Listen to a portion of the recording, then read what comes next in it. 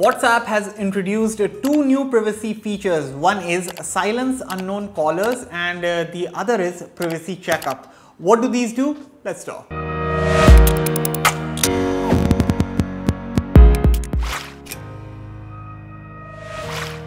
Hello everyone, I'm Aman for Fiiber. So WhatsApp is definitely the most popular messaging app in the world right now. But more than messaging these days, the trend is WhatsApp calling. Now getting calls from your contact list is okay. Getting calls from unknown numbers, that can be a bit annoying. Now I also understand that sometimes you could be getting an important call from an unknown caller, that is okay.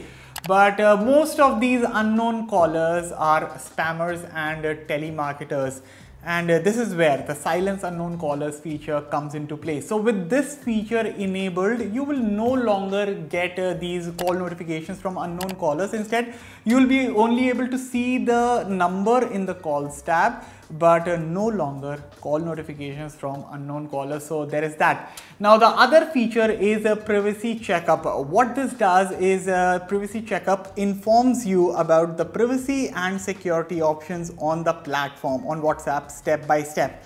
So how do you silence unknown callers on WhatsApp and how do you take advantage of the privacy checkup feature? Follow these simple steps. First up, make sure your WhatsApp is updated to the latest version. You can do this by heading to the Google Play Store. Now once this is done, to enable silence unknown callers, open WhatsApp and head over to settings. Now go to privacy, scroll down to the bottom and tap calls. On the next screen, enable silence unknown callers. Similarly, if you use an iPhone, make sure you update WhatsApp to the latest version by heading over to App Store.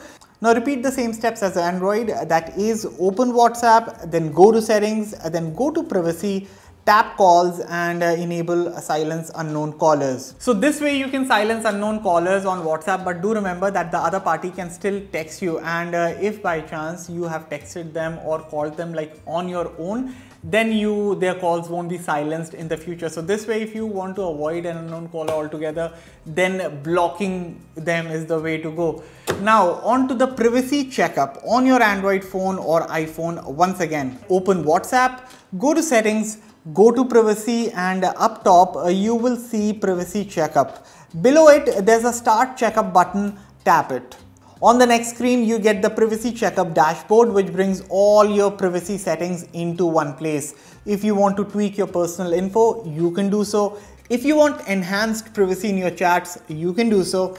If you want to add more protection to your account, this option to tweak the settings. Basically, uh, this way you have all your privacy settings tucked into one place. You don't have to juggle into different menus to, you know, tweak your privacy settings. You can do so just in one place by doing your privacy checkup. And uh, that's about it for the video guys. Uh, what do you think about these two new features that WhatsApp has introduced and what's that feature that you want to see next on WhatsApp?